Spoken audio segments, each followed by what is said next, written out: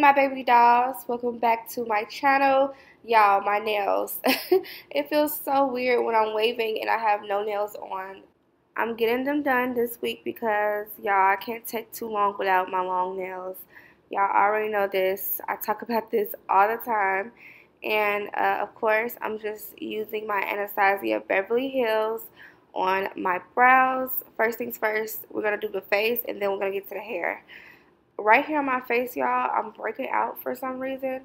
And I think, I believe it's my menstrual coming. So y'all know when that time is coming, you break out in the same area. It can be annoying. to conceal the brows, I'm using the concealers L'Oreal Infallible Full Wear Concealers. And I used two and I mixed them both with the color Caramel and Toffee. I mixed those two shades together.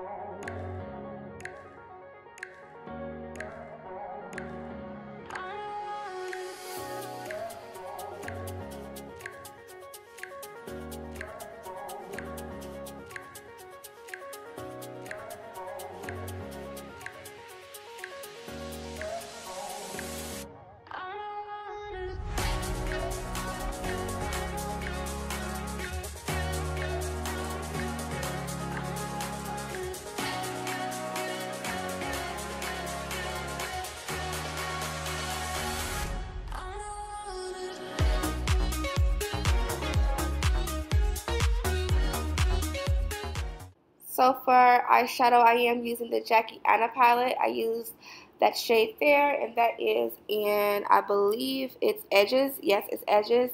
Um, I haven't used this palette since the first time I reviewed it and showed you all. So here I am using the palette, um, and I'm just taking that color right above my crease. And this is working as my transition shade.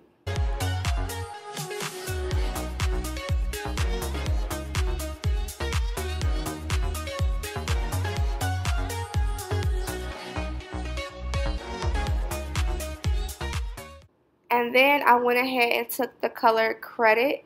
Now this will uh, be right in the crease. I'm taking that chocolate dark brown and I'm just giving it some more depth into the eyes. And I'm just making sure I blend that out right into the crease.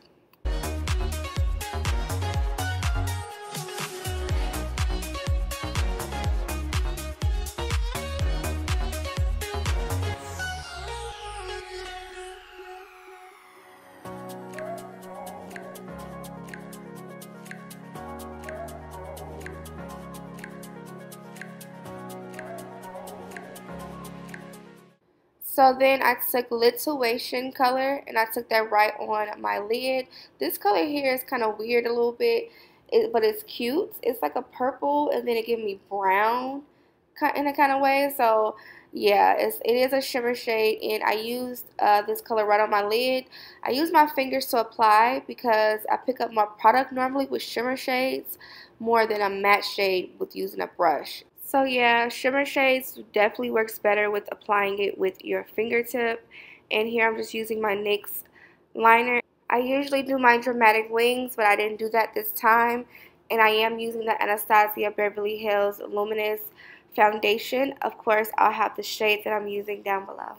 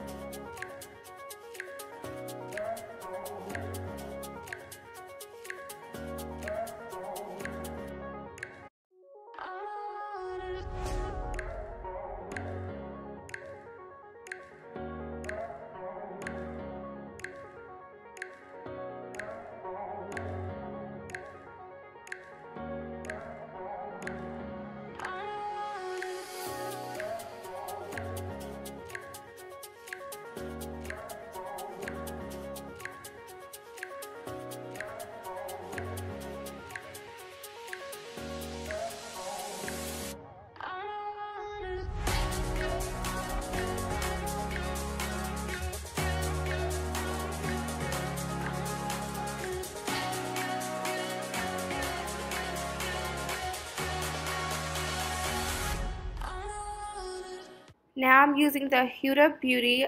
This is their Easy Bake Loose Baking and Setting Powder.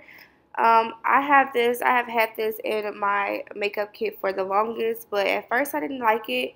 This is my um, like fifth time trying it, and now I do like it. This is in the shade Cinnamon Bun.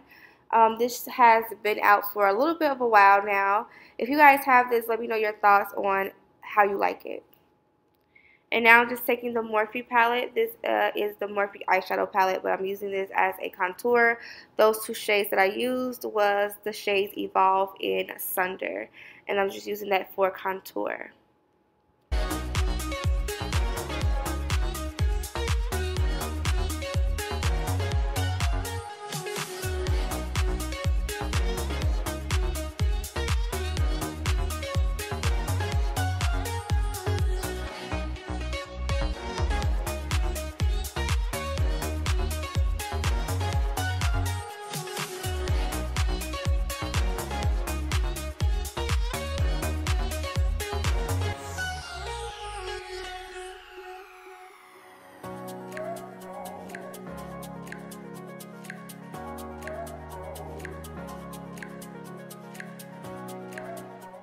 So for blush, you all, I've been obsessed with using the Nubian 2 eyeshadow palette. I've, I've been taking this same color from this palette called Madagascar, that orange, that pretty orange, and I took that as my blush.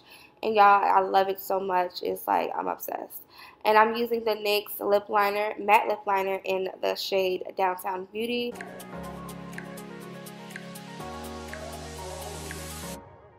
Now on top, I placed this NYX Liquid Suede cream lipstick. This is in the shade 04. Now you all, I was not liking the way this felt on my lips. Like the formula, the texture, it is cream lipstick. And I really wasn't feeling it. So I did take my napkin and kind of like blotted it a little bit off. Just a little bit. The color is pretty. And I just don't like the feel of it. It's either matte for me or a gloss, y'all. I just what it just wasn't it. and I took my Morphe and NYX spray, of course, to set my face. And I used um, this palette here. Y'all know I've been obsessed with using this palette for a highlighter. And it just been getting the job done. Okay. and I did use some bottom lashes again. I just took one strip of lash and I put it um, right in the middle. Just one. And then I took my mascara, of course and just made my real lashes kind of come down a little bit. I don't have no bottom lashes. I just try to make it look like I have some down there. So that's how I did that. and it's now it's time for this wig, y'all. I am reviewing Genius wig. I am going to just go ahead and put a little bit of foundation in my lace so that it can blend with the lace of the wig. And here is the wig here right out the package, freshly out. This is the natural texture it comes in. I'm going to talk more about the texture and all of that and why it looks the way it does more in the video. Here is the lace. It looks very good, y'all. Like, so bomb. It already come in a middle part for you. Here is the inside of the construction. This is a six-part deep lace. You do get lace in the back too as well, comb on the side, comb in the back, adjustable strap in the back too as well. I am using Got2b Freeze and Got2b Spray to apply this lace.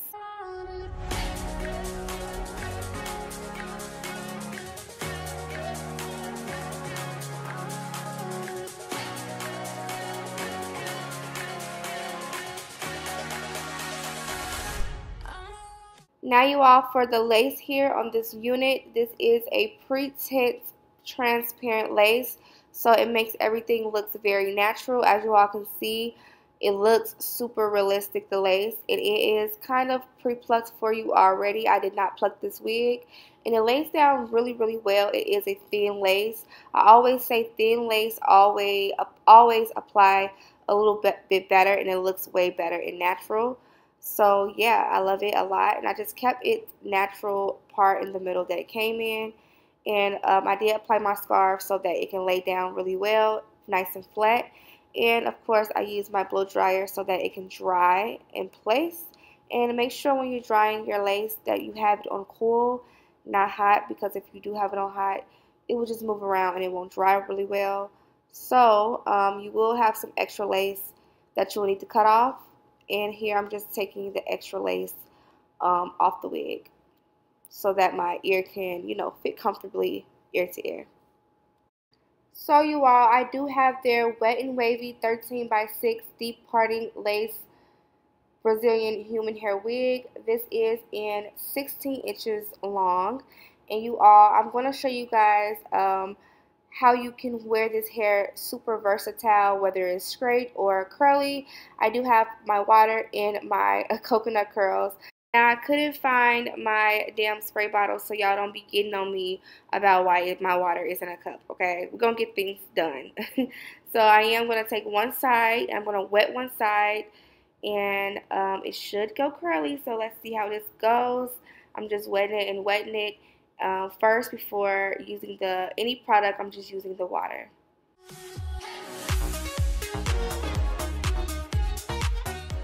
So as you guys can see, the waves is coming in. The texture, I hope you guys can see really well how the texture looks.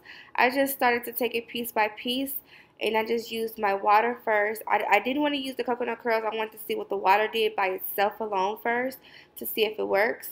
And you guys, it does. Here is the waves coming in. At first, y'all, I was kind of giving up. I'm like, is this going to work? But it's actually working. So now that I know it works with just water, I just took the coconut curls and I just lather it slowly all through the hair. And y'all, I love this because it always works with my wet, my curly or wavy hair. It just makes the curls and waves uh, more intense. It brings it out a little bit more and it makes it more curly and wavy, it just brings out the curls more. So if you're looking for something, y'all, to wave your curly hair with, I will definitely get this product. I'll leave it down below. And y'all, y'all see these curls? It's popping, okay? So I went ahead and took my flat irons and we're going to go ahead and see how well it takes with heat with making it straight. So let's see.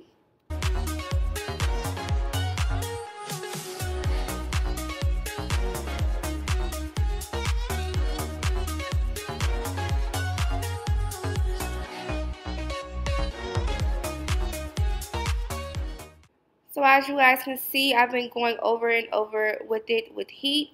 And this is what it looks like when you flat iron it. This is the look of it. So that's with the heat. And then the other side is without heat. And I'm just, I just went ahead and went back and forth and back and forth with it to see how straight it can get.